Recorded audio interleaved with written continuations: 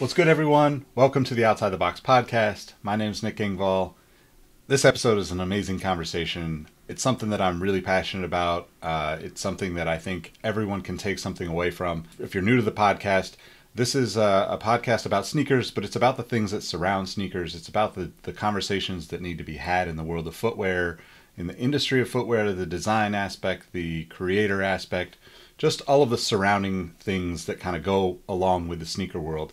And on this episode, I talked to Jeremy Green. He's the founder of Calling All Creators, a name you might have heard of. They did some work with Adidas a few years back, and they kind of had a little bit of a of a shining moment, I would say. Uh, you know, just aligned perfectly with what Adidas was doing with the Brooklyn Creator Farm, and kind of just that shift in mentality for a big corporate, you know, giant, so to speak, uh, going towards a more nimble and creative uh, you know approach. At least that's the intention. So uh, that said let's just get right into the conversation. I hope you enjoy this one. I really did. And if you enjoy the conversation definitely leave me a review on the apple podcast app. Uh, you know hit me up on twitter outside pods instagram outside pods. Really trying to kind of feel out what else i can provide as far as content and, and entertainment value and, and maybe just things that make you also think outside the box What's good, everyone? Welcome back to the Outside the Box podcast. My name's Nick Engvall. Today, I've been looking forward to this conversation for a couple of weeks, and I've got Jeremy Green, founder of Calling All Creators, to talk some design stuff and, and really some some truly outside the box thinking when it comes to what what we think of as footwear design. So, welcome to the show, Jeremy. How you doing, man? Not too bad, man. Welcome, welcome, uh, peaceful world. Uh, happy to be here. yeah, I'm glad to have you, man. Um, you know, I, I think like our last conversation was definitely in my head much longer than we were on the phone. And it, it really got me thinking about the way that this whole the whole design world of footwear and, and beyond, right? And I, I think I might have mentioned like this is close to me because my brother just finished industrial design. Mm-hmm. Um, you know, went through art and got his master or bachelor of arts and then decided to go back and get his design degree. And you know, just thinking about his him finishing that amongst COVID and the challenges of like even networking as a new graduate, right? Mm-hmm. Is is you know so different than what traditionally happens, which I think is, you know, I don't, I don't want to like get too too deep into that yet, but kind of flawed in, anyway, right? Like, which yeah, I think yeah. you have some great ideas to where we could take this. But um, I guess before we get into that, what what kind of got you into sneakers originally? Um, great question. Um, I mean, I guess more on the professional side. Um, you know, it's it's within the last, uh, I'd say about five or six years, but you know, more on the personal side. Something that you know is culture, something that we grew up in. You know, played basketball literally all my life. Um, but you know, more back to the the professional side. Um, started calling All Creators back in 2016, um, and that was sort of my professional introduction to the footwear industry, but you know, as I mentioned, being into it from a culture standpoint, from a personal standpoint, um, both the aesthetic, the design, the culture has always been something that that's been like what I wanted to do professionally. Just you know, unfortunately, being black, the industry being what it is, um, I didn't really realize that there was more opportunities beyond just a footwear designer up until you know, really about a, the last few years or so um, you know, they kind of keep those things from you in traditional education, um, you know, lanes or avenues, being like universities and things like this, where it's industrial design, it's graphic design, it's uh, marketing maybe, but even that's broad, and you don't necessarily know that you can have like a full rewarding career in sports and in footwear. So, um, yeah, like it's, it's been you know a long time coming, but more professionally the, the last few years or so. Yeah, I can definitely relate to that, man. I mean, I, I I'm I'm a little over 40 now. I've been working in the sneaker world for almost 15 years in some full-time aspect, right? Mm-hmm. And I still think that my parents don't really know why I have all these sneakers or what what I do. You know, like they see me doing content and they see some stuff and occasionally I'll share an event that I was a part of that helped put together or maybe share a shoe that I got to work on the marketing side for. Mm-hmm. But it's mm-hmm. it's one of those things I think, you know, as I mentioned to you in a previous conversation, I really want to use this to kind of like showcase some of those things and and really focus my energy on the content that I create on like just opening those those doors for people, right? Like I, I think there's there's so much more, right? Like we we I mean I, I'm you know I can relate in that like there's the three or four things that you think you've heard of coming out of school or or just in general, right?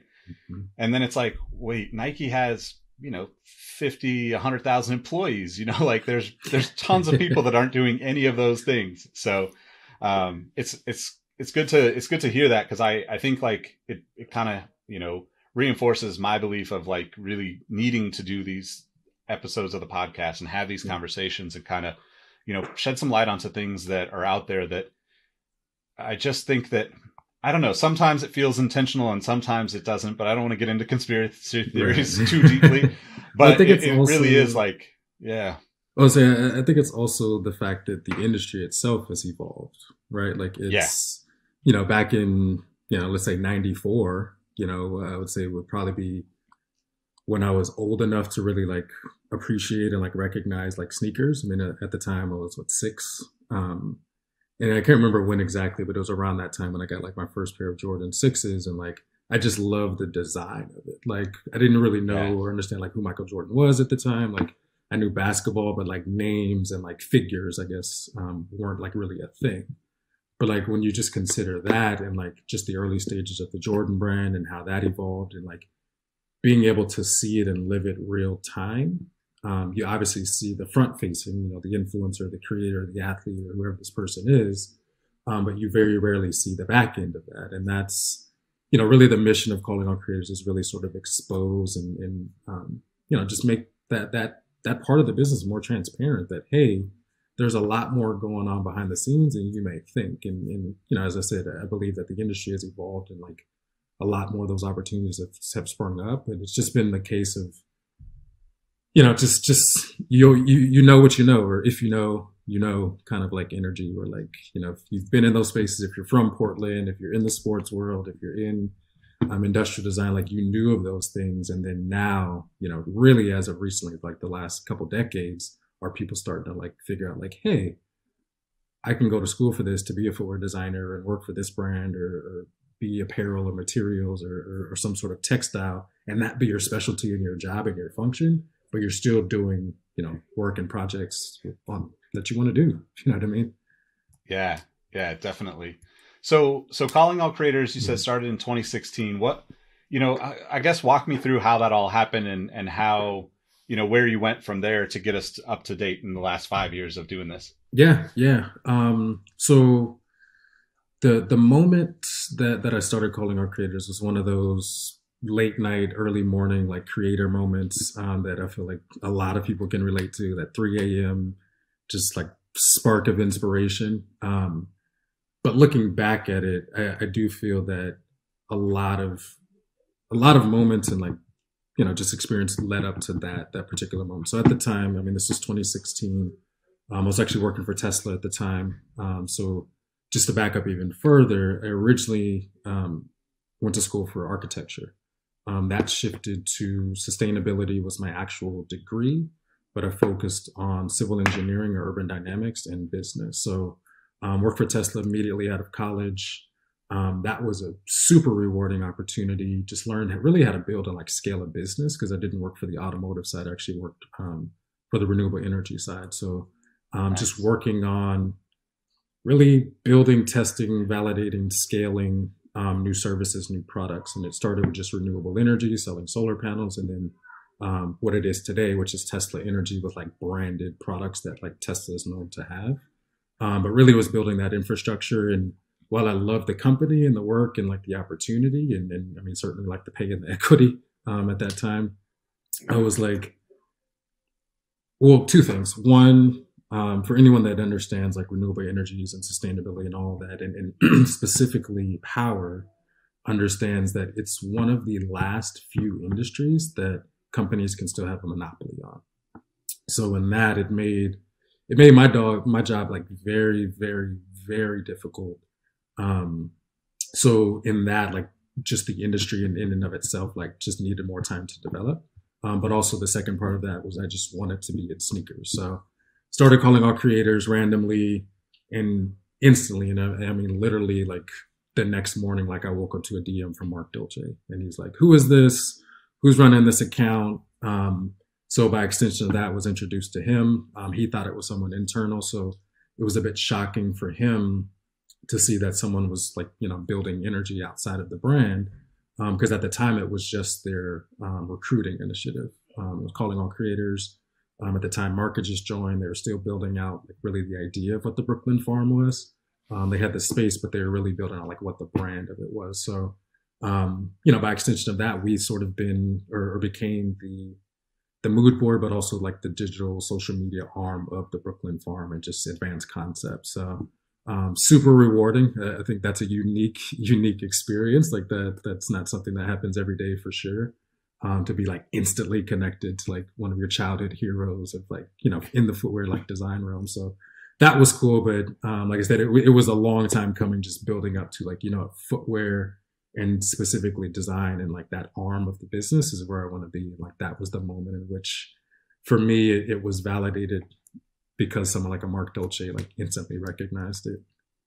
Yeah, definitely. I mean, that's such an awesome thing. I, I, I am a, I'm a huge believer in synchronicity and yeah. that you know there's no such thing as a coincidence. And mm-hmm. I think mm-hmm. that you know that's just such a beautiful thing to hear. Literally, just putting your thoughts out there, right? Like, and somebody recognizing it. You know, if you're not familiar with Mark Dolce, he's he's a former Nike designer that designed countless things that you already know. Yeah. But then uh, moved to Adidas to start the Brooklyn Creator Farm, which is kind of the the hub of ideas for Adidas at this point, I think. But um, I think the other thing that's really awesome about this, you know, as as you were talking about working with Tesla, and one of the things that I really hope to to you know kind of continue to push out through the podcast and and my content is the conversation around sustainability, right? Like sustainability. Mm you know it's a it's a buzzword and on on the last on the last episode of this podcast i talked to um, liz beecroft who is a social worker but her her you know her goals are to you know get people to talk about mental health and and change that narrative to be thinking of mental fitness right the same way we work mm-hmm. out our mm-hmm. bodies we need to work out our minds and i think that that's something that you know there's something there that's got to be shifted in the sustainability you know conversation because 100%. I, yeah, I, th- I think I might have told you this in, in our last conversation, but I'm going to reiterate it. I remember when I first started writing about sneakers, you know, 13, 14 years ago, whatever. Um, one of the first shoes that Nike that I, I got a press release from Nike from was a all black Air Max 90 that was quote a mm-hmm. vegan friendly shoe, right? And I just looked at the shoe and thought like well, this is just an all plastic shoe. Like it doesn't use hmm. any animal byproducts, but it's all man made.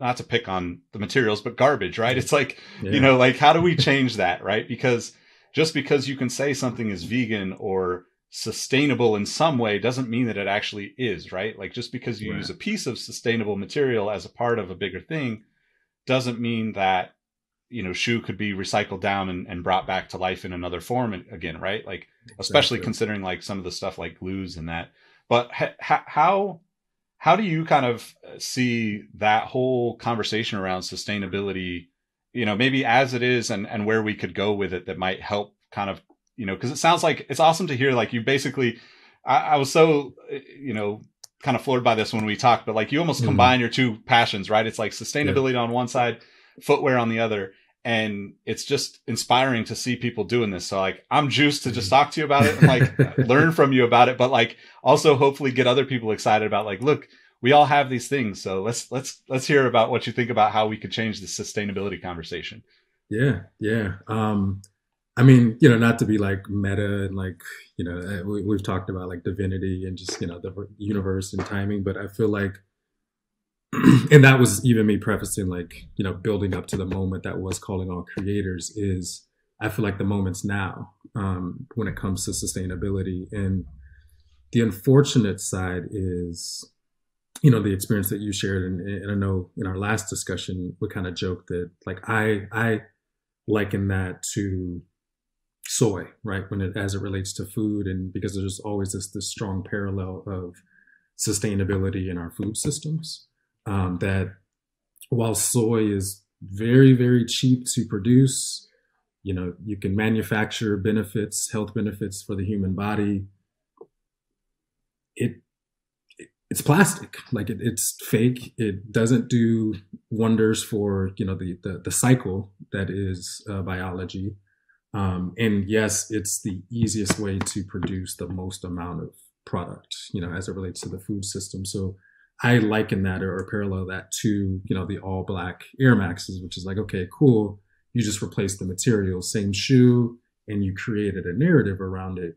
Um, but while that's been the case, I've operated in, although my degree is sustainability, I graduated from the School of Sustainability. I kind of hate the word sustainability um, because it's been co-opted by a lot of corporations of, you know, this narrative of like, all right, we're green, right, and this is our sustainability initiative. And while that's great, it it's literally one one quarter of the pie, I would say. Um, and I, have replaced that internally and, and, just with my own, um, you know, lingo with closed loop, which is actually producing something with the intent of a piece of it, if not all of it, you know, which being the goal, being returned back into that process. Um, so I'm happy that a lot of brands are starting to pick up on what that means. I mean, you see brands like On who have, you know, their, their actual uh, shoe that you don't own. Um, yeah. You know, obviously Tom's is one of the originators of, of that idea of, uh, you know, the sustainability aspect as it relates to like, you know, just global initiatives. But even that was more gimmicky. Like, yes, you're producing shoes and you're giving shoes to those that need them, but like, what happens to your shoes on both levels, right? Because there's places that have massive landfill or uh, um, um, landfills. I'm saying um, there's places that have massive landfills, and there's those that don't understand what they are yet. But if you give them all the materials, eventually they're going to have that. So you're not even actually solving the problem. You're just saying, "Hey, we're giving shoes to people," which again, it's great initiative, but like I said, a band aid. So I'm happy that it's coming to that. I think there's just there's so many solutions that that haven't even been like scratched yet. Um, that we're literally still nicking the surface. And you know, because the brands like On are doing great things, Allbirds are doing great things, but um, they're doing their quarter or their piece, right? Like Allbirds, they have their um, they create their own index where this shoe has you know 9.2 kilograms of um, uh, uh, greenhouse emissions. So great that's a great index to show what the actual impact is but that just takes it a step further from that nike air max which is hey we replaced the materials on this but this is the actual impact. So it's reducing the impact right? Yeah. but like how do we actually get that shoe to be continuously solving a problem? That one shoe not just you know one brand one anything that one shoe how does that actually get back to the brand. So those are challenges that i'm excited to tackle because as you mentioned like they are my passions. Um, you know footwear being sort of the muse but sustainability really being the passion in like wanting to just provide long-term solutions to a lot of these problems and, uh, and a lot of these uh, industries that that i just enjoy like on a personal level. So um, I'm excited for all the change, but it's it's still still so very early, like in this process of like sustainability, uh, as it relates to footwear, of course, but you know, greater industries as well. Yeah, definitely. So that that actually makes me think of a, uh, you know, it's probably been a couple years or or more maybe now that Adidas came out and said we're going to have, you know, no virgin plastics in mm-hmm. anything that our company does, right?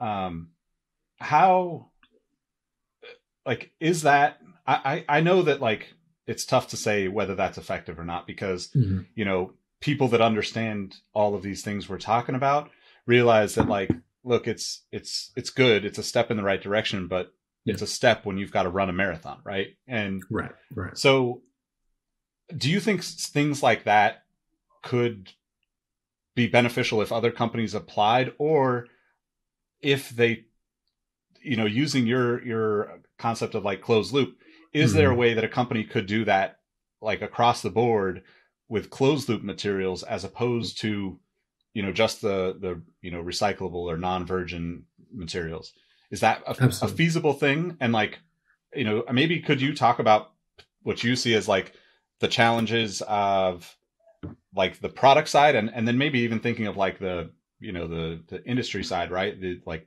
yeah. buildings and the materials within. Yeah. So I think, I mean, my, my personal opinion is it's it's a two part problem. So the first part is there's the big brands, right?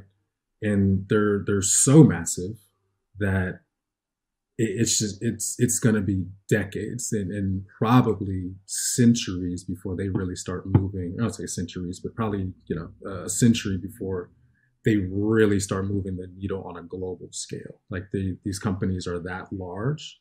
So while I do applaud the you know like a, an, Adidas Parley initiative or an Adidas Carbon initiative or you know a, a Nike Move to Zero initiative. All those are great individually. The problem exists, and, and this is where Calling All Creators wants to step in. Is um, to me, it's it's it's two issues that need to be tackled. Is there's the closed loop, and then there's the open source. Um, the problem, and as it relates specifically to these large entities, is they silo their innovation within their organization and then i mean outside of the the organization like you can forget it especially when it comes to like a nike or something like it's just no one can touch it right so carbon is a, a perfect example. Um, and adidas was was quick on that and, and it was you know really behind their their open source methodology to actually partner with a lot of these you know material manufacturers and process manufacturers. Um, they found carbon. They weren't actually ever producing shoes. They were just making other 3d or 4d printed um, you know products. Just so happened that it works with this particular material for you know midsole. But and i get it you know adidas wants to be exclusive they want to have that that that product they want to have that brand all of that but being able to open that up, even if it's not for the big players, right? If you involve the little players, you say, hey, I know we talked about like outdoor and like, you know, Keen, right? You're small yeah. enough to where you're not going to challenge Adidas as a brand. Or if you do, it's going to be decades. Why don't we open up some of our innovation or products or materials to you, see what you do with it? That is one of those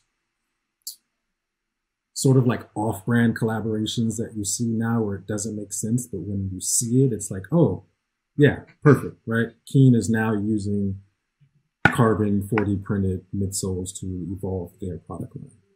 But that mm-hmm. just shifts the industry. But unfortunately, like we don't see that. So, um, as I mentioned, like the first problem is just the big organizations. Like they're they're too big and too slow, just to put it plainly um, that you know they can create initiatives, but it's one team on a materials or one team on a product direction or one team in you know basketball category or running category. So it's very siloed, and you know as I mentioned, that doesn't get usually get to spread amongst the organization. And then you know when you include the external, then like you can just forget it. Like you know very very few brands are going to open up that. So I'm, I'm hoping that you know in the case of like on and that service that it doesn't have exclusive IP tied directly to it because I think that as a service, as a business model, really should be what almost every new footwear brand should adopt. You know what I mean? Like that should just be embedded in your ethos. Like, hey, you never owned this shoe. Yeah. Right. Or, you know, if, if that's really your lane, if you want to be in sustainability or closed loop, like that's just a new business model that you're just always adopting. Almost like Tom's did, you know, back when they started. Like they they opened the floodgates of like, hey, you don't have to take all the profit, right? You can give a little bit of profit to this for good thing. And this became, I mean, I would argue even the birth of like what we see of certified B corporations now. Like they just ingrained yep. it in their culture, their ethos that it just became normalcy. Yeah, yeah, definitely. So, so I'm gonna kind of go back to that mm-hmm. that idea of like, you know, this kind of siloed way of thinking, and mm-hmm. just kind of give to you what I see it as from someone who's not really behind the curtain, I guess, um, and see if that's where if if I'm right on the way I assume this how how this stuff works. But it seems like you know, obviously with with uh, you know brands will have a bunch of different categories, whether that's running or basketball or whatever. But all these people work individually. So not only are they siloed within the company, but they also tend to silo themselves in in terms of like technology, right, or material mm-hmm. use because they don't go outside of the company. But if they do, they tend to go towards like you know I think of like Boost and like you know uh, I think it's BASF or somebody that was creating that, right? Where it's like, mm. you know, that is like, oh, we've already had this partner, so they just go back to that partner and are like, hey, can can we work on a new cushioning system? Yeah. But also like on on on the or I guess thinking in that way, it also forces the rest of the industry to kind of follow suit, right? Because they're they have to be competitive in the price point, at least in some regards but then they also are constantly using almost the same players to provide that type of stuff, right? I think, you know, and I'm, I can't remember precisely, but I think like, you know, Puma's cushioning is the same as Adidas Boost, you know, roughly mm-hmm. same company. And then even Joyride with Nike and, and Puma's cell, fuel, fuel cell, whatever that newer one, the, the beaded yeah, yeah. version is, right? So they, they're basically buying this, you know, technology, cushioning, whatever you want to call it, and being able to label it, label it as their own rather than kind of finding the people that are actually pushing not to not to discredit the people at those companies that are creating those technologies because those are phenomenal but like how can we kind of change that um so i guess like you know how how do you how do you see like opportunities to you know i think you used it on the last time last uh, conversation we had but like democratizing those types of th- that type of change that's needed? Mm-hmm, mm-hmm. Um, great question. Um, so my thing is, well, it's the reason why calling all creators exists, right? To, democratize um, the industry, and, and you know, and I've shared this with you, and I, and I share it with really anyone that I talk to, like in my personal life. But like, it's bigger than sneakers, right? Like, there's sneakers is the muse, and I think that's something that I won't say is popular now, but it, it's something that any and everyone can relate to, like man, woman, child. Um, you know, it, it's just a, a, global thing. Um, the idea, though, is it's it's similar to politics in that democratizing, you know, the industry and, and specifically um, the design and marketing realms of it is you you solve a couple of problems. Um, mainly in authenticity and transparency, but also you're you're even in the playing field. And that's not to discredit anyone that is, you know, a seasoned, tenured, you know, 20, 30, 40 year industrial designer. Um, the skill set is the skill set. The experience is, is a different thing. And obviously, like, you know, your skill sets will develop with your experience, but there are great ideas today um, that that are you know trapped within minds that don't necessarily have the skill set or don't necessarily have the experience doesn't necessarily mean that they don't have good ideas right i mean you think about i mean even someone like a stacey abrams right you know draw like that parallel of this was was this is a woman that politicians didn't really take seriously didn't really consider as a threat right didn't really consider uh, a true politician in that sense changed the game. Literally changed the whole fucking game. Um, and that is my hope for a lot of the independent footwear designers is while they don't have you know the the, the mirrored skill set or the mirrored experiences of you know these design executives at these big brands they still have great ideas and they should be given a platform to share those ideas. So my my hope for the future is and this is again beyond just footwear is that external people, meaning people that don't necessarily work for brands or that choose to work independently and you know more freelance basis, can actually own a bit of their IP as it relates to these products that they're partnering with. So, you know, you, you see it in, in glimpses, but let's say, you know, just on the topic that we're talking about, a material, right? Independent designer as their thesis is working on this new material exploration they now own that IP and then they can turn around and sell that to Nike, to Adidas, to Puma, and you know really sort of own what that is versus the opposite of they're trying to prove the material so that one of those brands can actually hire them. So I think that's a part of the education that you know, and again the parallel with the politics is there was the people that were just saying, go out and vote, right? Just go out and vote. And they're telling you what to vote or who to vote for and why. Um, and they're sort of imposing that, that idea, which is the education system. And then you have someone like a Stacey Abrams that is really beyond like a greater mission. It's not just, oh, we're trying to win, you know, the battle. We're trying to win the war here. So like do this and then do this. Like there's an actual strategy behind it. So that is the the pulse and the understanding and, and the, the, the cultural nuance that a lot of these independent creators have that sometimes the design execs don't. And not to say that they, they don't have the experience or the skill set or any of that. They're just too far removed from, you know, the ground, if you will. Um, that they need those perspectives and that doesn't really come from a spreadsheet. Like it comes from that individual actually contributing to the brand, to the product, to the story, to the narrative, to whatever that thing is. Um, but that that's really what democratizing is to me is giving those people uh, first of all a platform, which is what calling all creators can do, but then more so an opportunity, um, which is what you know the, the, the greater network that calling all creators has afforded, and being directly tied to a global pool of aficionados on footwear to literally design executives, or I would say design legends, like as it relates to footwear. We haven't got Tinker yet, but you know, I know he's not not officially on IG, but you know, we, we want to move to like having that caliber of, of designers. But I mean, there, there's there's a healthy amount in there, but it's just it's just throwing them all in that that that that gumbo, if you will, and saying, hey, yeah, everyone has a, a contributing factor to this, you know, this pot. Yeah, it, it makes me think too, like kind of going back to the idea of of the silos, right? Like the mm-hmm. other challenge with, you know, potentially like someone that that steps into, you know, let's just use Nike as an example because you brought up Tinker, right? Like Tinker's mm-hmm. incredibly successful.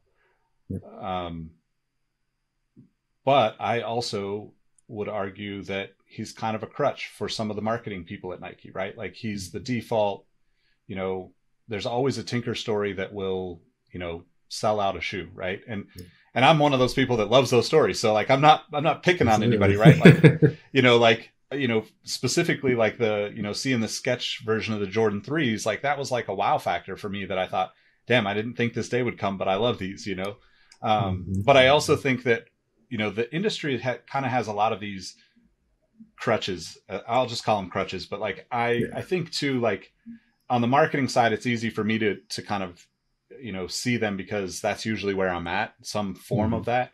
Um, you know, we we kind of look at like you know like we just talked about this on the sneaker history podcast a, a few weeks back, but like signature basketball shoes, right? Like yeah. the idea of a signature basketball shoe is that you know it's only really going to sell if that player is in LA or New York, maybe mm-hmm. Houston, Miami, but like basically New York and LA. Yep. And like it's so funny to me because we've proven that theory is wrong 30 years ago, right? Like yeah. Penny sold shoes out of Orlando for like for years. the way right? it started was completely opposite of that. It was just like, hey, right. we're gonna give you a shoe, and it was more experiential or experimental. Just like, yeah, fuck it, we'll try it. Like, give them a shoe. It, yeah, exactly. Like, yep. Yeah, and I, and I think we can, you know, I think like this is a, a much bigger part of the shift that we need to see, right? And I, I'm, as I said before we started recording, I'm mm. optimistic from where we go from all of this political stuff, the COVID mm. stuff, all of that.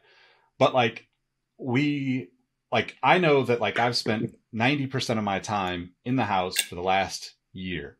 And I just want to walk around the neighborhood hugging people, right? Like I just want to like like I want to go to the local, you know, taco spot and like like appreciate those people so much more, right? And I hope that that translates to a, a much bigger group of people than myself, but yeah. like also like you know in in industry, right? Like I think we're at this point where we've we've kind of we've pushed everything to those like status quo level of like how do we actually make this successful mm-hmm. especially in footwear and like you know I, I, I actually was talking about it um, on, an, on another podcast, but um, the idea of like, you know, um, the more than a game LeBron seven, right?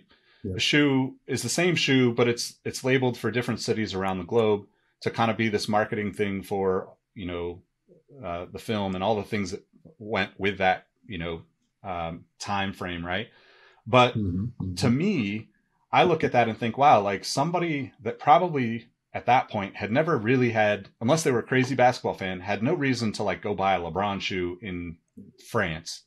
Now lives, you know, an hour or two outside of Paris and is like, I got to get this LeBron shoe because it's Paris and I love going to Paris because it's only a couple hours away from me. And like, I hop on the train to do that. And now it's like they have a shoe that really is not like a Paris specific shoe, right? It's just a LeBron with a little Paris label on the heel. Mm-hmm. But like the story brings people in from such smaller communities because you get around, you get out of those major hubs, right? And I know Paris is a major hub and you could, you know, argue that, but like it's just interesting because I think we're all craving craving a much more local experience, right? And a much more personal experience, right? Both in like the physical sense, but also like the conversations that we're having. You know, I I think that all of this kind of can. It's we're in a beautiful place for it. As as bad as 100%. it has been, you know, we're all looking at things a little bit differently. And I think too, like, you know, if there's anything that has come from the last couple of years of the chaos, there's like that baby step of of brands committing to do better, right? Right. Just generally speaking.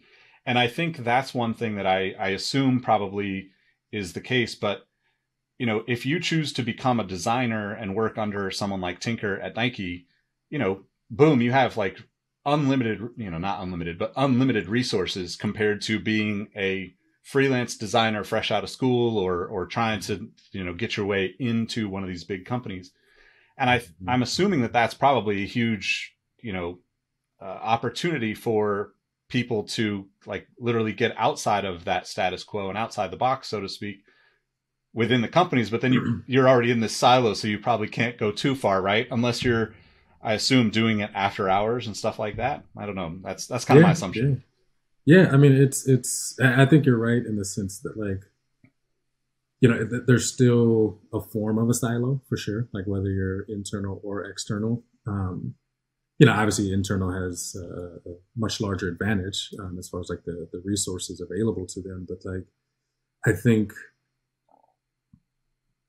in addition to the gig economy and like just the, the emergence of that and, and, and more so, you know, the creator economy that, that's sort of emerging on, on social media, uh, you know, TikTok, Instagram, there, you know, as bad as COVID was, like it leveled the playing field for everyone, right? It was, everyone can create, right? I mean, depending on what you do, um, but everyone can create. Like, I mean, just think about the amount of podcasts that launched in 2020. Like, and I would even say the second half of 2020. Um, yeah. You know, because so many people are like, all right, like this is COVID's here to stay, right? I'm stuck in the house. I still want to have these conversations. I still want to connect with people. I still want to have community and, and foster that. I could you know, and, and at the time, I think even Clubhouse was still beta. Um, you know, if you think about like August, September at that time. Um, but you know, just Instagram lives and you know, just these these ways of communicating on a digital scale became the norm. I mean, Zoom, it's just tenfold yeah. like their their stock. You know what I mean? Um, but like things like that help level the playing field for everyone. Um, but we're still, you know, we talked about this before the recording, we're still in that sort of planning phase of, you know, as it relates to brands and what they're doing for the culture and, and for society and for communities, underserved communities specifically. Um, you know, we, we, we just haven't seen those conversations. And even with all the statements like last June, you know, we're all great Yep. Everyone in the community is still like, okay, cool. Like, where did all that money go? What's it being used for? How is it being used? Like, they have questions, right? And like that level of accountability is what excites me the most is you know whether it's in footwear whether it's in the government whether it's in whatever american corporation or industry that level of accountability is is it's scaling you know what I mean? And, and people, like the you know democracy, if you will, they are saying, hey, if I'm going to support my, you know, this brand with my money or vote, what are you doing for me? And it actually starts to become this this reciprocal relationship rather than purely transactional. Where I mean, obviously, there's still going to be people that just buy sneakers to buy sneakers, but like because there's there's no one that that beats Nike, right? But like if there's now a bunch of different smaller players that are giving you similar product, um, sometimes better in some cases, but they fully stand behind what you stand behind. Like, you know, which side are you going with? You know what I mean? And, like I said, it's hard to compete with a Nike on that scale brand wise, but like if I find, you know, a, a LeBron, right, or I find a company that makes a LeBron, but outside of the Nike brand, they make the exact same shoe performance wise, but that same shoe is part of a closed loop system or part of a, a greater system. Yeah, I'm going with option B. You know what I mean? I, I think that's just where the democracy side comes into that. There's just so many options now that the the playing fields are level, but also it's a threat for big brands. Like they have to be for you know the causes or for the underserved communities or for you know insert thing here otherwise they know you know the risk that that comes with that yeah definitely i, I it, there's two things that i kind of want to go back on in that hmm. so one is like for the first time and probably since i was a teenager or something and just found it at a goodwill like i bought hmm. columbia sportswear right because mm-hmm. it was like, oh, this guy's speaking up for, you know, all the injustices that are happening and is representative of the way I feel about something. You know, it's it's like things like that really like I'm I'm very drawn to that as like like stand for something, right? Like yeah. it's it's something that I think I totally understand the business challenges of that on all aspects, right? There are mm-hmm. always people that you're going to upset, you're going to make or lose money. You can argue that left or right, either way, what, however you want to go. But at the end of the day, like I'd rather have something, somebody that believes for something in a respectable way than, right. you know, the kind of, the kind of chaos approach to it that I, I would say, you know, like Kevin Plank from Under Armour is, is very much that, right? Like he dances around a lot mm-hmm. of the mm-hmm. stuff. He's spoken up about certain things, but then of course he's obviously, you know, putting money in different areas. And not to pick on you know him or that brand or anything but like there's tons of people that do this right? It's part of the game that a lot of business leaders play in the in the US and i think it just needs to be eliminated altogether and like get rid of all that crap. But yeah. um, one of the things that that i was thinking of as you were talking about how we kind of normalize zoom calls and podcasts you know like i i hadn't done um, i've been doing this podcast started about five years ago and then you know took a couple of different breaks. And then i'd been doing the sneaker history podcast a couple times a week which is more of a you know it's more like if we were just like you know grabbing food you know every week talking about sneakers right? Very community sp- talk. And i think that that is more of a it's a it's just a different lane. And and i like both of those worlds. So like i'm trying mm-hmm. to keep my keep my you know finger on the pulse of, of how things go in those conversations from the sneaker kind of community and like the people. But then this one is like, how do I talk about those more important things? Which is why I ended up bringing it back. But one of the things that I didn't do prior was the video side, right? Mm-hmm. And, you know, I've always wanted to, but I was always particular about like doing it. We did it, you know, a few years back, but it was like such a tedious thing for me to take on by myself. And you know, using different platforms. I've tried a few and it's like, okay, it's time to do it. Let's just go for it. Mm. But I will say that I think one of the things that normalized Zoom or any of this like kind of conversation outside of the work element, right? Like I think if you've worked in any corporation, you've had some version of a Zoom call, even in the office, right? Yeah. But the Verzuz, right? Verzuz battles, yeah. like was like the first time it was like wait, it's okay to do this remotely and record it on Instagram Live or mm-hmm. wherever you watch it now. Like that was such a stamp of approval for us all to like not only stamp of approval, but it was stamp of approval for us all to be like, okay, this is this is like really a thing that we're gonna do because we got to mm-hmm. get through this. Yeah. But it was also like this beautiful way of like, look, this brings all of us together in a way that like I can't even remember the last time, you know, I can't uh, like I can't remember the last time hip hop did that for an event. You know, there's certain events that come through, right? Like, you know, uh, the the big show in New York that happens.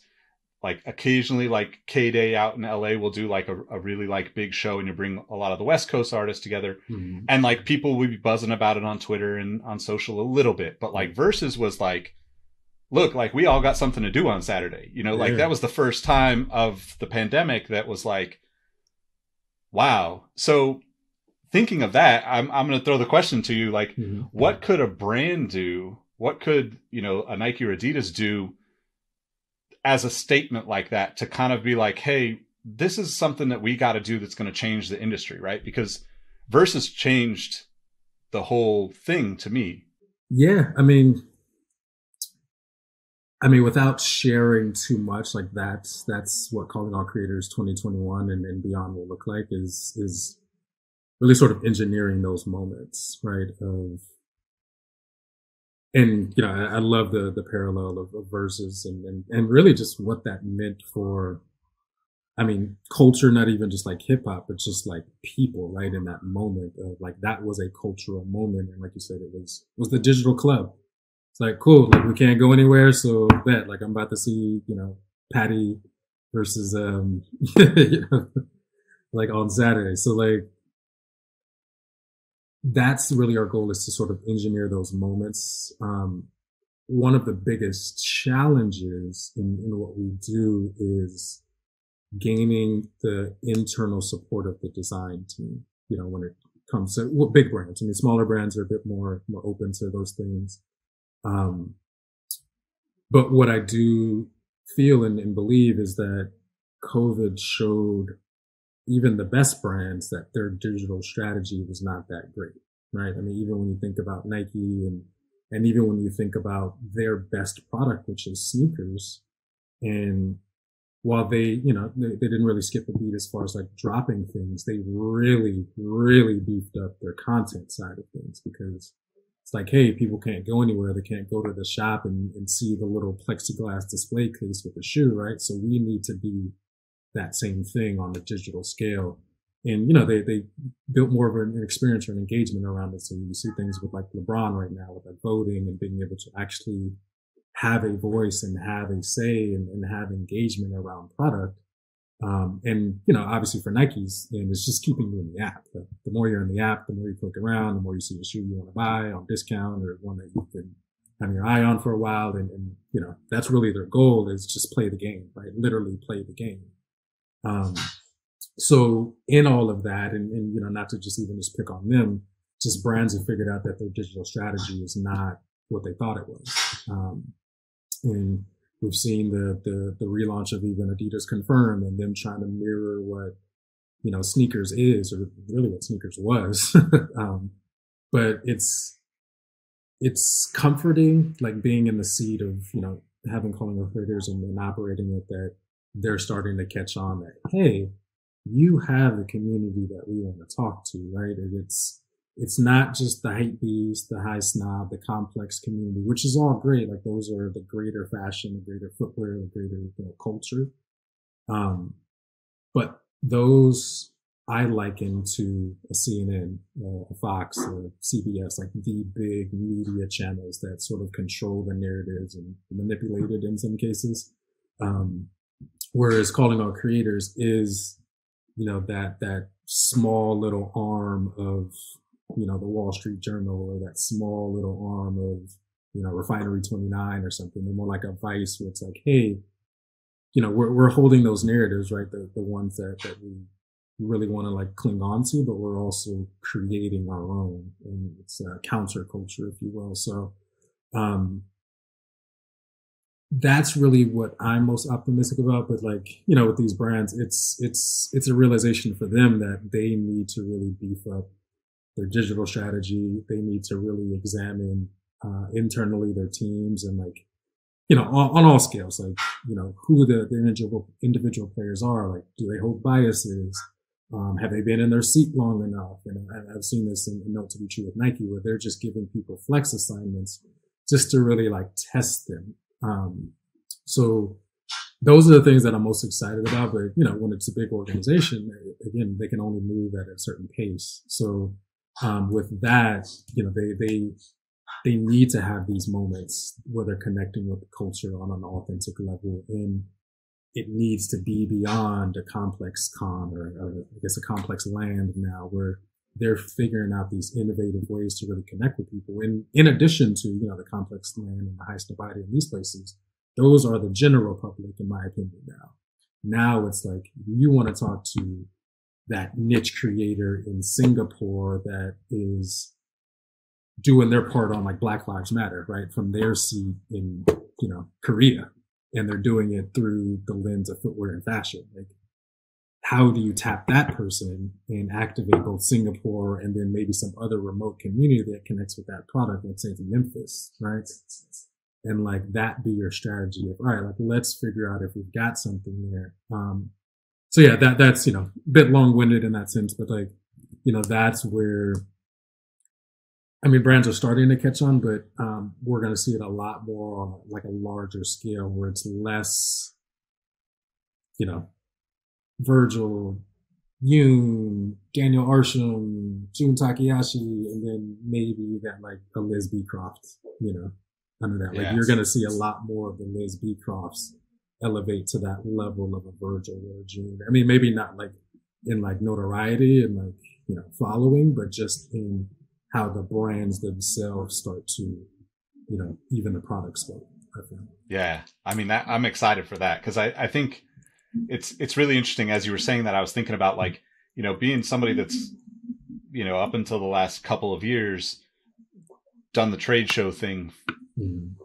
You know, repeatedly for a decade plus, and um, it's almost like we miss those connections, right? Like I, I, don't we didn't have like a design element to you know like an agenda or a magic or something, right? There's like a sourcing yeah. and those kind of things for product. But like we still connect with those people that are challenging the norms within that, mm-hmm. you know, you know, trade show bubble, right? And it's it's interesting because we've we've seen those kind of be eliminated or you know they've they've definitely fallen off in recent years Mm-hmm. And we've seen the big brands pull out completely, right? So you don't yeah. see Nike or Adidas or Reebok or, you know, it's like none of those major, major players even want to be a part of that because they, you know, whatever they can, they, whatever they choose as I mean, they're going to not a part of that, right? but yeah, especially exactly. It's like what, we're going to ComplexLand for what? Like our shoes are going to sell regardless. yeah. Yep. Yep. You know? So I want to ask, like, you know, obviously like in the five years you've been doing calling all creators you've probably mm-hmm. had some speed bumps along the way what's something that you you know you look back at now that was you know maybe a headache at the time but you look back and think like damn this is a turning point or this is something i could take away so next time i don't have to you know go down this path again. Yeah. Um that's a great question. Um i mean and, and this is me just being frank, we've had far more losses than we've had wins. And I think that's the case of any sort of startup or any like incubator or, you know, someone that's being more experimental in that sense. But that, that's really the goal, right? Is to test and iterate and, and just continue that process. So, um, I guess in, in that sense, hmm, I mean, my biggest regret, uh, without a doubt is project one and not the actual project, but uh, the manner in which I went about it. So, you know, as I mentioned, like I, I, am not of like footwear background, or uh, you know, I used to work for Nike um, retail when I was working at Tesla as well. Um, so I only had you know a, a, very very narrow understanding of like the larger entity that, that are these big brands. Um, obviously started to learn more like just working with Adidas, but even then, um, I would have approached Project One differently. And what I mean by that is, um, so let me back up and just explain what it is actually. So Project One was sort of our final case study and then pitched to uh, the Adidas uh, Advanced Concepts team. Um, so both Marc uh, Dolce and uh, those who don't know Jose Cabaco, who's the um, VP of uh, storytelling and like marketing, like that's his his avenue. Um, and then Dolce is just, you know, VP of like creative direction. Um, but all under advanced concepts anyways. So put together, uh, I did put together a uh, global team of uh, 12 designers um, and under a brief of, and at the time, Donovan Mitchell was just a, an endorsed athlete. He wasn't signature. There was no inklings of signature. Um, we just decided to go at it. You know, I, I didn't tell the Adidas brand, um, which is that was probably the only mistake in not saying, "Hey, I want to take a stab at this," because I feel like had I told them at the time when we accepted the project, it probably would have actually made it to market. Um, unfortunately, uh, I wanted to come to them with a finished product or at least a, a prototype. Um, so put that together. A few months passed. Um, pitched it to them.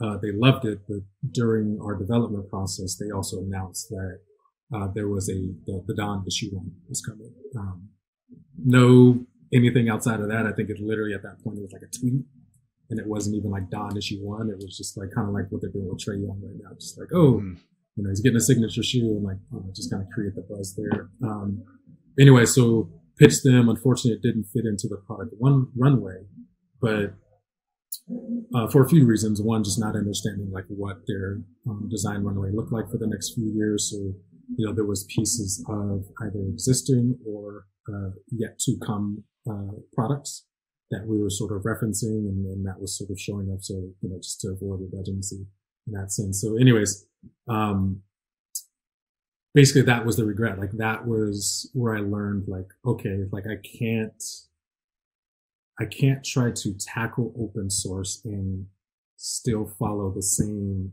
clutch to your chest, like IP, you know, ideal that that the brands go with. Like it's, you know, yeah. it's not that I had crazy trademarks or crazy IP or you know any of that. It was just it was design that we made and that um, unfortunately, aspects of it would actually land in the market without us, but like that's also part of the risk that you take as a young designer, or really just a designer in general. You have to put your work out there in order to to really validate, and, and that's that was the tough lesson for me is that in order to validate it, the people need to see it, and in that case, the people that were in charge of making the decision needed to see it so that it could have you know landed in, in the market, but uh, for us, while the relationship with Adidas ended at that time, for me, it was just a, a broadening of the world. Of, hey, we did this for the Adidas brand. We got the attention of like literally the highest level that you can get. We can do this for anyone. Um, so, you know, it sort of pivoted there. So, you know, while it was a loss and a lesson that that particular product didn't land in market, um, it's a great experience for the designers involved. Uh, great feedback from the, the Adidas team. Um, and you know the the only miss that that I wanted um, was actually having uh, Donovan's feedback and, and, having you know just more of an input um, from them and from the athletes. So that's really the only miss, um, which would have happened likely had I pitched it to Adidas earlier. So um, definitely a loss, but you know it's one of those things where it's like okay, you know take it on the chin, keep it moving, and um, you know just continue to prove that that case study and that theory because it did just that for like for calling all creators as an entity.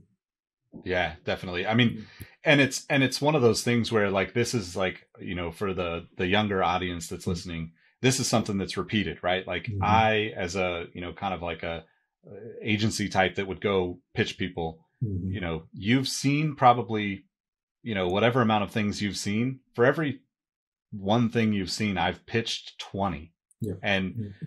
I've probably had 50 conversations for every one before I even got to a pitch. So I think that it's it's a part of the process and it's it is it's cool to hear that though because it really does it really does like take one of those situations to, mm-hmm. you know, that learning process to refine the approach, right? And I think that's something that's that's probably especially on the design side, right? There's mm-hmm. probably a lot of people and I'm I'm totally assuming here, but like I'm relating this to my relationship with my brother. Mm-hmm. My brother's mm-hmm. very like very much a, an introvert in a lot of ways, but especially with his work. Like he's incredibly talented, and if anybody's seen his stuff, they they like are blown away by what he does.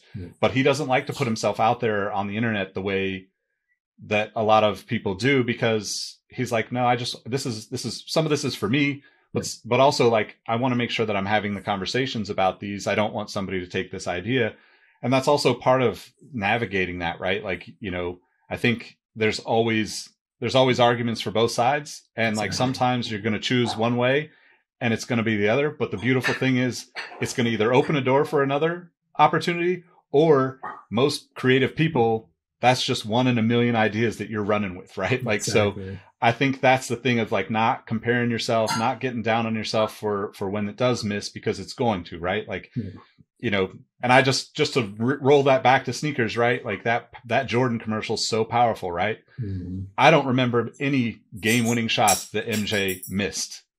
I remember most of them that he hit, but I don't remember any that he missed.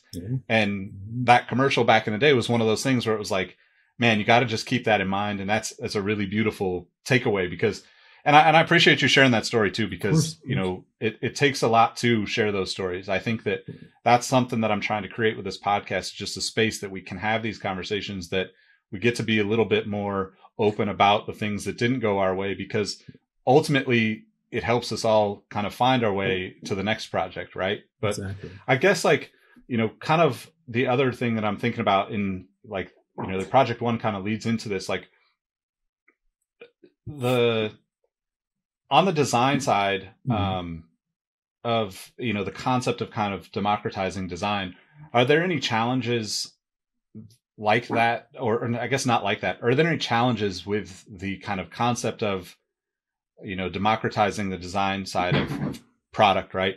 Um, and it doesn't necessarily have to be in footwear, right? Because I, I know like you know you're going to expand well outside of footwear as you grow. But are there any things that like you're cautious about you know, moving forward in that? I mean, that's obviously one of them, but are there any others that you can think of? Yeah. Um, I mean, so as it relates to design, I mean, footwear specifically, like I touched on it, is it's it's usually centered around the IP, right? And brands just wanting to protect that at all costs, and and really anything, right? I mean, not even just like IP as it relates to product, but just anything like brands are trying to protect. So they usually keep those conversations very, very static in the sense of like, you know, even as you're pitching, right? And, you know, there's not a, a usually a very open dialogue because they're trying to take in information and relate it to what they can't share.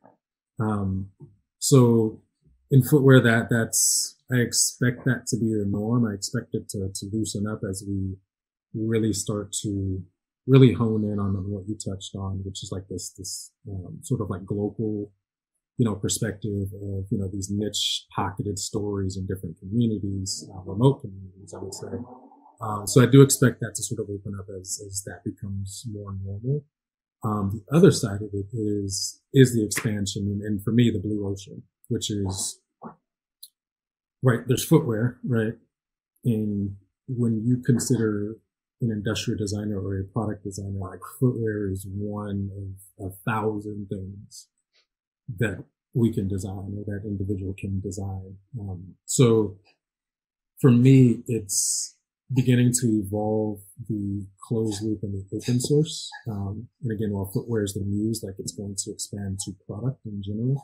Um, but those are the ethos that I want to rely on. So in that sense, I'm excited because that's where the timing is perfect. Like brands are recognizing, hey, we need to open up whatever the process is, right? Whether it's just giving content creators more flexibility with what they're creating, how they're creating. And that's one end of the spectrum. And then there's the whole other end of the spectrum. And we've seen this in some cases. Um, but there's legit agencies that do what Calling All Creators aims to do, which is to get the brief from the brand, create the product and create the marketing story and the whole go to market strategy around that. Um, and the, the, the name of the agency is slipping my mind right now, but um, they're they have offices in like New York and I believe Amsterdam, but they basically did that for Google. Um, and while Google, everyone expects Google powerhouse, and they're up there as far as like recognition with a Nike. Very few people would have expected Google to outsource product design. But when you think about it, like Google's not a product design company in that sense, or at least like hardware. Um, obviously the software thing they've got down to a science. Um, but they outsource this agency to, hey, using, you know, this list of data, this targeted demographic, this targeted areas, design a product for this, you know, these people. Um, and that's really the idea that, that we want to go for calling all creators is receiving those briefs and whether it is just marketing and it's a strategy um, or content around that, or it's an actual product, both hard, soft, or digital in that case. Um, that's really the idea and the all-encompassing nature of calling all creators, just centered around open source is, you know, the ethos of, hey, every project that we do, you know, you can expect there's going to be a very lean core team. And then based on the product, based on the project, we're going to build a team around that. Um, and then, you know, that, that's how we're going to go about it. So it's always lean, but then when the opportunity presents itself, there's a closed loop, um, aspect to it as well, where we're bringing in elements of sustainability. We're bringing in elements of transparency. We're bringing in elements of like for good or social justice. Um, just things that are, you know, positive in the sense of like, it's not just yeah. a, a, profitable um, or I guess monetary KPI. Like there's different KPIs. Whether what was your impact? What was um, you know, and agencies do this already, but what was your conversions and conversations and engagement and things like this? But like, how does that relate to impact? And I think that's really the, the, the largest question that we want to aim to, to answer is how are we solving these problems impactfully? And whether it's designing a product or designing a narrative, like that's that's the goal. Yeah, that's awesome, man. I uh, I I didn't really think about this until you started talking about that, but it's kind of interesting because in a sense, you know, like we've democratized a lot of elements of business along the way through, you know, Fiverr and Elance and all these places where like you can you can find a little bit of help for a little bit of something here and there, right? Yeah. But footwear is kind of interesting or product design is kind of interesting because it takes so much more it's so much more in depth you know and and i would argue that you know most products should probably look at footwear as an example of how to create great product because the stories are so deep and so intertwined within the actual product mm-hmm. that you know a lot of a lot of things outside of footwear don't have that much thought process gone into them from like the get-go right? It's like exactly we just need this product to hit the market to hit these numbers and it becomes a part of the spreadsheet. But it's interesting because we we don't have ways you know that that really kind of open up the opportunities for you know like let's say an aspiring footwear designer to just you know get their foot in the door on a project level basis the way we do on like you know okay i can i can provide this service you know as me as an individual or through you know whatever platform that you choose to work through as a as a mm-hmm. content creator right um so i guess in that you know kind of vein of thought like what are what are the best ways for designers to to get involved with you specifically moving forward and um you know how, how do you see how do you see the collective of what you're building with those designers um supporting each other too like you know both internally and then you know maybe on a project or or you know whatever basis with brands that you might work with. Yeah yeah um so my my thought is this um and there's to me there's sort of an evolution to it in, i guess the discovery of it. So there's i mean and for those that that aren't familiar the literally the best resource you can go to to learn footwear design in this day and age, um, as a young person, is probably Pensole. Um, and that's without a doubt what D'Wayne is doing is incredible for the community. Um, you know, it, it's just amazing to see. Um, and, and, you know, very, very grateful to be connected to, to individuals like that. But for me, like that's the introduction, right? And that's, that's the 16 year old kid, 17 year old kid that is kind of interested in sneakers, is interested in interested in sports, maybe he's designed a couple things or photoshopped a couple like mashups, and it's like, hey, I like this, right? I want to explore it. I want to continue it more. Um, calling all creators fits in post Pensole to me um, because Pensole, and again, amazing, amazing program. Um, but it's still only solving a small amount of the need in the industry. Um, and that's just the awareness. The awareness is, that's what opens the door. And that's what, um, I'm, you know, most grateful about what D'Wayne is doing is he's just making people aware that, Hey, you can actually be a footwear designer, right? Even if you were considering it, you're going to school for it, like you can even take this program and, and get this accelerated, you know, course through design with this this very tenured legend in footwear, but also you're working on actual projects, not conceptual, not thesis. Like you're working on actual projects for brands.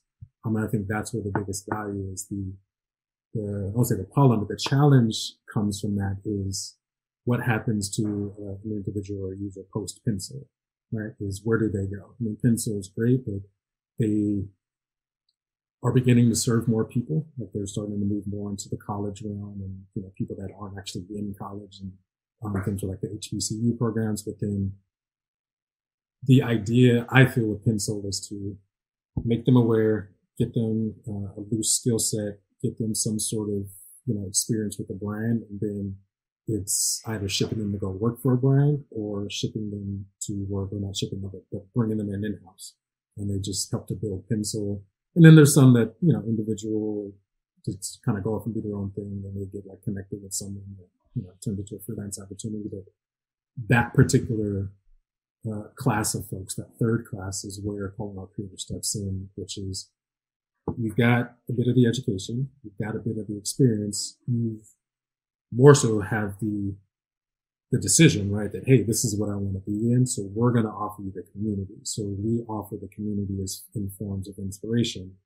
Um, a lot of what, what um, you know, people will see in, in later this year is more of like a membership opportunity to where we're really starting to cultivate uh, that community and with purpose, not just like, hey, you know, we're a community and we just kind of throw ideas at the wall. It's like, let's just rapidly ideate projects internally so that we're rapidly validating and testing things that we can then take to brands and take to market and et cetera, et cetera. Um, but really just creating that environment for creators to go to with like-minded people. Like, I mean, I know that sounds crazy because that's just social media, right? But like, that doesn't exist within a brand. I mean, unless, you know, some individual within the brand starts it and then it's, you know, this team of 10 people and you know, just very grassroots, but you don't see it on this larger global digital level. Um, say you don't, but it's rare that you see it there with purpose or with mission. Um, it's usually just like, hey, we're a forum or we're like a, a subreddit, right? And we just kind of yeah. go here and we shoot the shit. And, and it's basically Nike Talk, which Nike Talk was great, but Nike Talk set up opportunities for all of us. Like it yeah. planted seeds of like, hey, you're into just Adidas, there's a forum for you. You're into only forums in Adidas, right? There's a forum for you. So like it started to segment um, footwear, you know, under that realm, and that's what we're starting to see now. Where um, you know, in these like niche pockets of social media, Instagram, you know, TikTok, and the Clubhouse, and all these places, but it's really just providing a platform for creators. And, and that's really, that's really what the need is. And, and that's both from feeling, but also from creators literally, literally telling me and, you know, just the whole team, Hey, like, thanks for sharing, you know, my, my sketch, right? This person followed me, turned into a conversation. Now I got a freelance gig or thanks for reposting this. So and so reached out and now I'm working at Under Armour or, you know, thanks for sharing this. It helped me change how I approach how I design. Like all of those things are good user stories for us. So it's really, for me, it's, it's, I'll say it starts and ends with the creators, but it's about the creators. And obviously it's, it's, it's the name, right? But like that's why we do it, which is providing community and platform for them to whatever they want to do, whether it's grow your skill set, whether it's connect with people, actually work on projects, or you know, just other things that you'll start to see, which is the membership side of things where it's a very curated experience for the people that have been rocking with us for, you know, years and like they appreciate the platform. Yeah, it's it's beautiful though because that's you know again going back to that timing thing. This is something that we're all craving, whether we know mm-hmm. it or not. We're craving that community. We're craving that support system that we would normally have. And I don't mean like support system in the sense of like call your friend when you're struggling. I mean, like the dude that talks to you when you get a cup of coffee out of the you know break room or whatever at your job, right? Mm-hmm. Those are pieces of of our life that have been missing so much, and it's it's cool to hear you say that too because one of the things that I'm you know like I have the sneaker history Patreon Discord. We have you know I don't know, we're we're probably up to close to 100 people within that little group. Mm.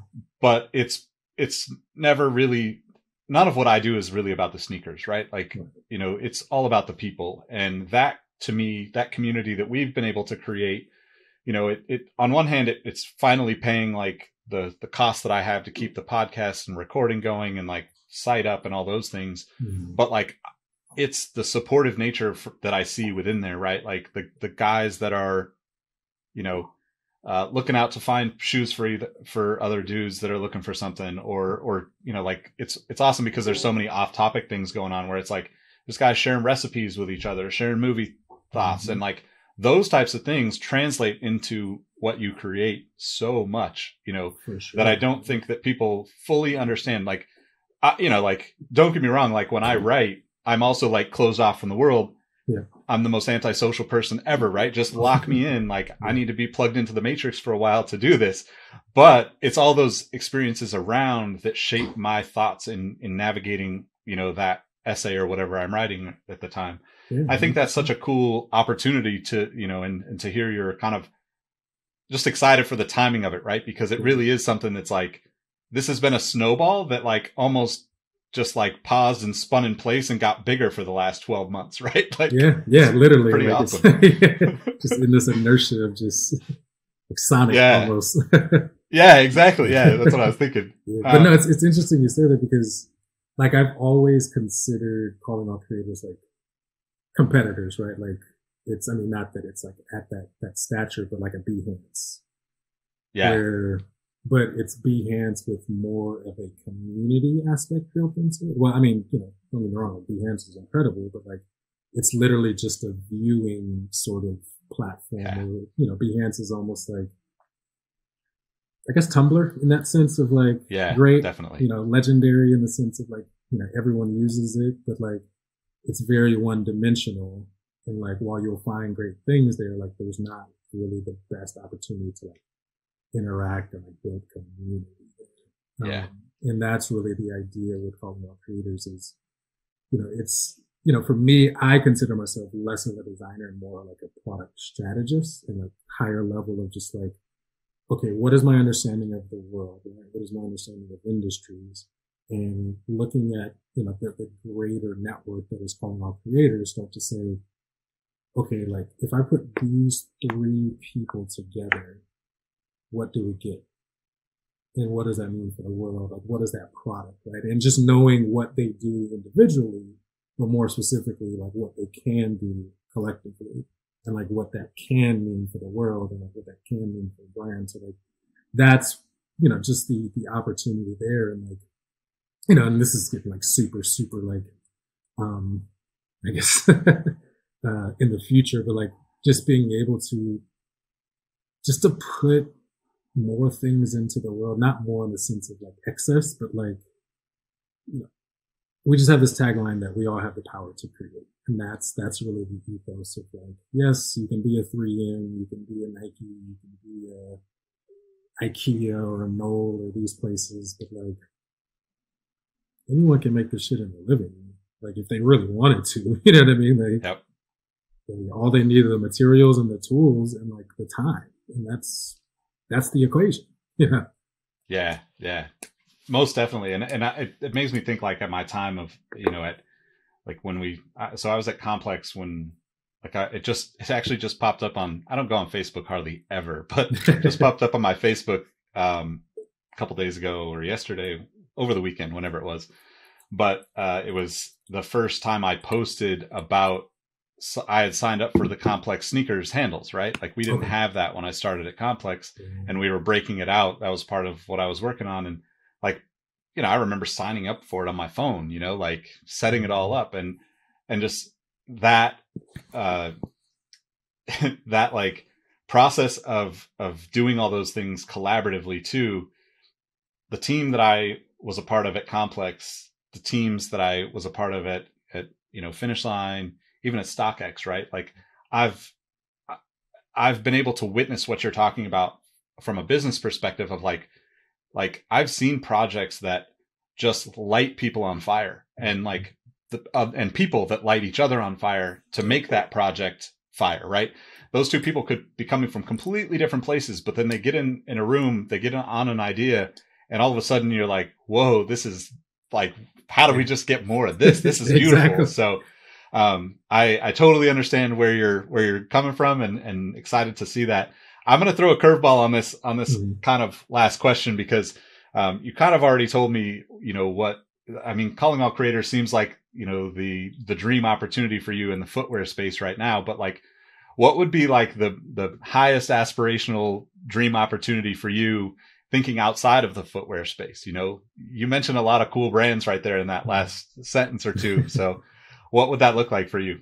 Yeah, um, you know, without I guess revealing too much of, of the the master plan. Um, I mean, the I guess the obvious things are, you know, obviously growing beyond footwear for sure, um, and that's just by design. It's something that you know, as I mentioned, like footwear is always the muse, and you know, it's, it's, it's something that we will always continue to do, like just as a personal like passion um, and collective passion, but also just just really applying the skill set and the knowledge and experience that is an industrial designer um, to the world. Um, so,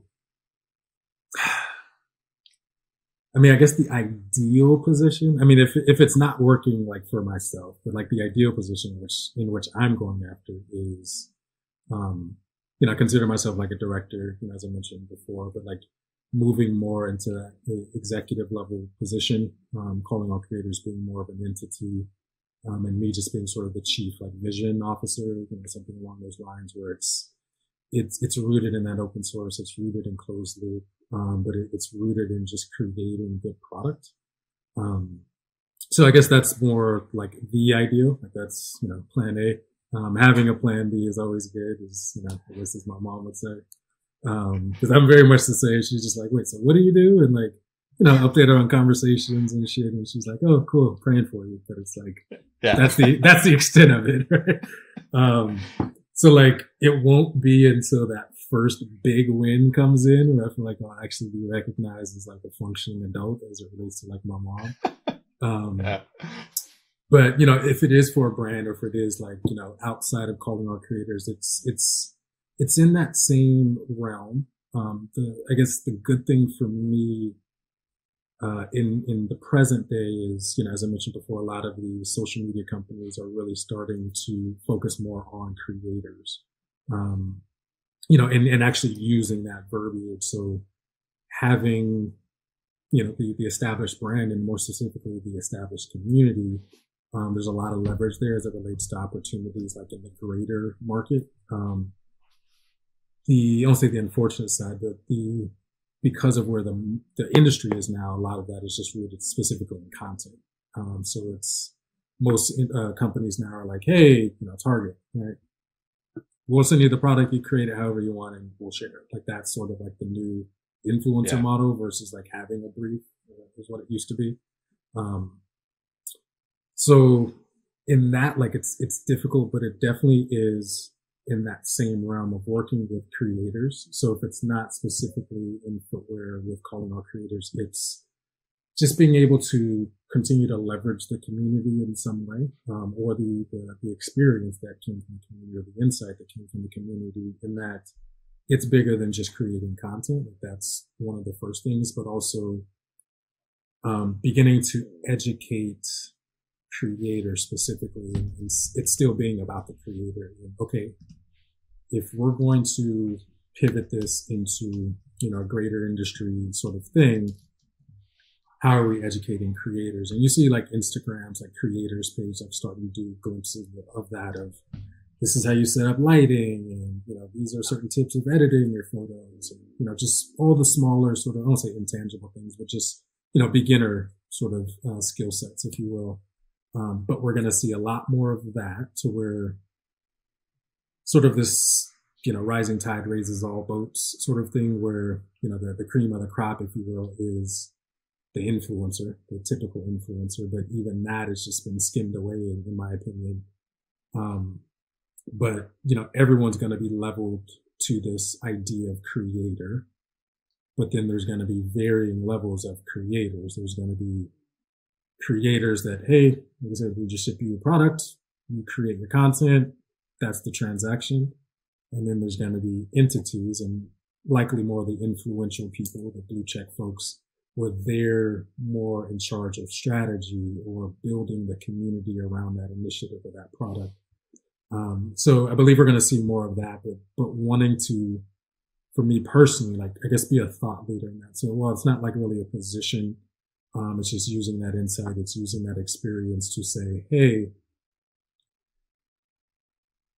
like let's look at this differently right? Because i think even now that the conversation around creator as i mentioned is still content and it is still under that guise of influencer. You know 50,000 followers 100,000 followers and like you know not to be like overly political but like you're just fashion nova you know former athlete chick that wears bikinis. You know what i mean? Like cool. Like that's one model right? As far as like influencer yep. but then there's people that I classify like the, the community of out creators, which are prosumers. Like they're aficionados of footwear, but they can also say, hey, you know, that new Kyrie, they should have evolved it, right? It's too too redundant from the last couple models. Or they should have done this because performance wise it wasn't, you know, this. So they have valuable insight to offer versus an influencer, which is data driven, which is great, right?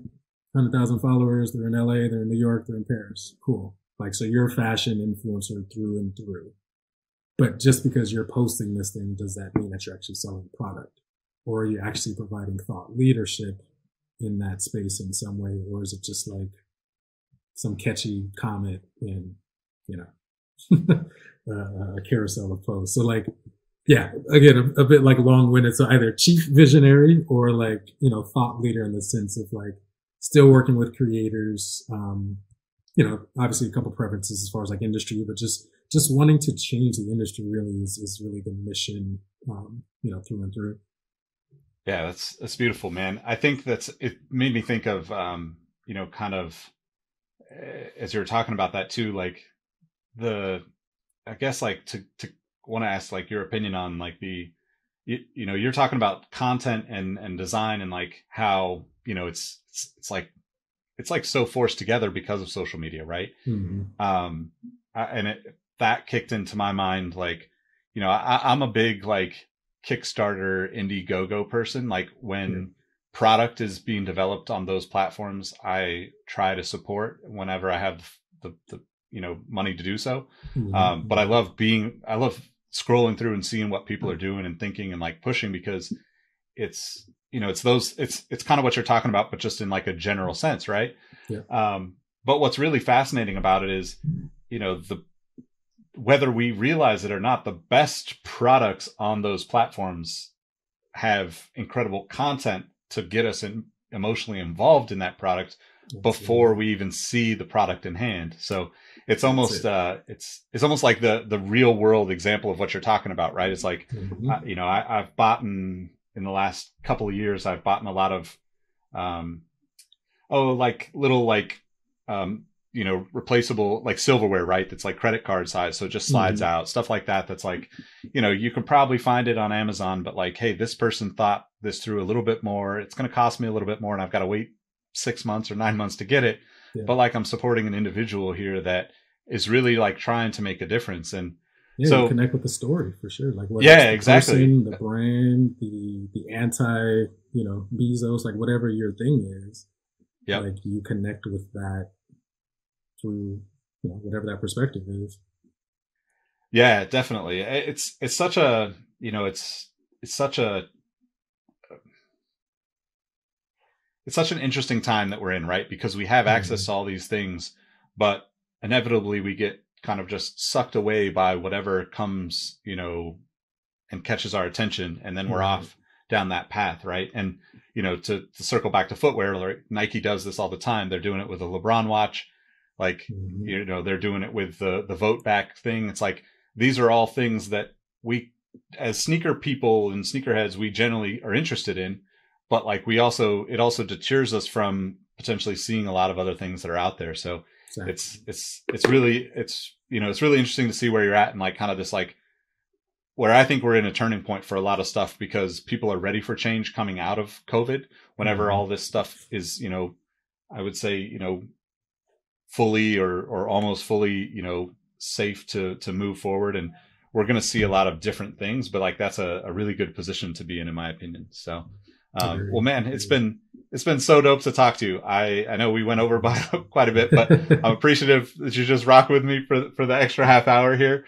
Um, I guess like definitely let people know where they can find you. Um, and you know, I guess any last things that you want to share too, if if they need to be aware of in the future.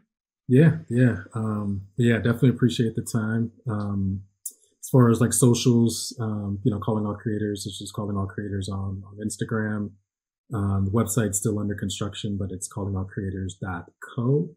Um, you should expect that relaunch uh, either February or March, and uh, we're going to be doing some cool things this year. I'm excited about a lot of the conversations that we've been having. Um, 2020 was interesting in the sense that we didn't do a lot like, you know, public facing work. Um, there's a couple little things that we did. Um, but uh, a lot of incredible conversations and a lot of like new direction that, that uh, excites me and I'm sure would excite a lot of the, the community and just being able to, you know, have a place that that's their own. Um, so yeah, super excited about that. Uh, more personally, um, you know, I, I, still uncomfortable like being like the, the front facing man. Um, but you can find me on, on Instagram. It's Jeremy M. Green. Uh, M is my middle initial. Um, and yeah, you know, same thing on, on Twitter. Um, not on anything else like Clubhouse or any of these other things. So, um, try to limit my social media interactions. So, but yeah, uh, you can find me there. And I mean, yeah, outside of that, it's been, super good, like just chatting with you. You know, I know we've, we've talked about like bigger things and, and wanting to sort of find a way to work together with like sneaker history and, and you know, even just having more conversations like this. Cause I think this is our part, right? In, in sort of changing the industry and, and, and, wanting to literally be the change that is the industry and, and having these conversations that are less around, you know, while it's all great, the hype and, oh, this is, this shoe's coming out, you know, this month and this week and that. And like, the drops are cool, um, but the drops are literally for me the introduction to sneakers um, and like the conversation that we're having now more about the sustainability and the greater industry and um, awareness and transparency and like these are the conversations that um, should be landing on SNKRS and confirmed app and things like this and, and we'll start to see it more but um, firm believer in the divinity of it and, and that it literally starts here so Definitely, man. I'm I'm 100% with you. Well, it's it's been a pleasure. Thanks for spending the time with me. Thank you everyone for listening and uh, we will catch you on the next episode. Peace. Peace out.